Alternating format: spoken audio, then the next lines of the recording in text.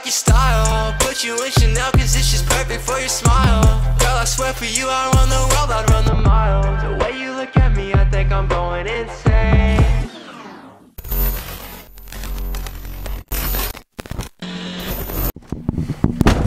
Okay, my friends, how are we? We're back. We're back with another video. It's the next day. I've just trained in the gym and I've got just a little addition to the gift that I had to show you. Okay, I forgot I forgot the card. I forgot to get her a card. I mean, how can I do that? That's just not right. So I did get her a card and I, I spent about 20 minutes trying to choose it and so I'm really pleased with my choice and I cannot wait for her to get it and hopefully she keeps it for the rest of her life. Or at least until she's old enough to understand what it says. And then she can throw it out. But with that being said, this is it. I almost, I almost like the card better than the present, to be fair.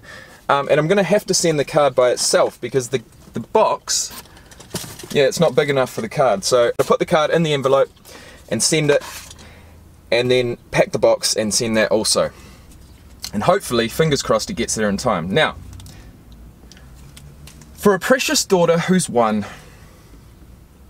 sweet daughter, you're one and what's not to adore? So cute, filled with wonder and wide-eyed awe. The world's simply wonderful now that you're in it. A year filled with memories of each treasured minute. Uh, I'm not sure that each minute would be treasured. Certainly memorable. Um, you bring such pride. You delight every day and loves alongside you each step of the way. And that is the quote that got me, the last one because love is alongside her each step of the way from her mother and her father. And this card is from her and this card is from her father. It says happy first birthday and it's by Disney. And it's actually themed Bambi which is one of the most classic Disney movies there is. So guys with that being said I'm gonna get my pen out. I'm gonna try not to ruin it but I will write on it Oh my god, it's absolutely surreal writing these messages to my daughters in these cards because I'm imagining my own dad doing it. I am literally imagining my own dad writing these messages in his cards to me as a kid.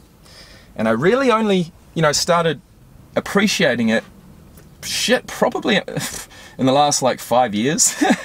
so that means that, shit, I've got 24 more years of birthdays and, gift giving until she appreciates it. Unless her mother, you know, instills good values, which she is. I mean, from what I've from what I've heard, guys, from what I've heard, Tate, she's talking more now. Obviously, I've, I've seen that, but from what I've heard from her mum, Tate is the most respectful, kind-hearted, sweetheart of a girl you'd ever meet. And God, that that just melts me. You know what I mean? Tristan, if anything, the birthday girl, is the you know, the, uh, the, the, the, the cheeky one, the one that, you know, she's definitely going to be the one, she's definitely going to be annoying the shit out of her older sister um, for years to come. And I can't wait. So guys, I'm going to pack all this up. I'm going to, going to send it away. Thanks for being here. Thank you so much. It's Tuesday. I just need to confirm the date. Yeah, Tuesday the 21st. Uh, her birthday's on the 29th, which is a Wednesday. And happy birthday, Tristan. What a time to be alive, eh?